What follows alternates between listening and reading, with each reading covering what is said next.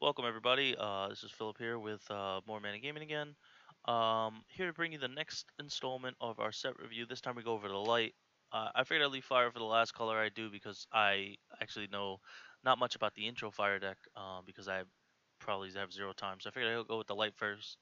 Um, here we start with, uh, as always, the champion. Um,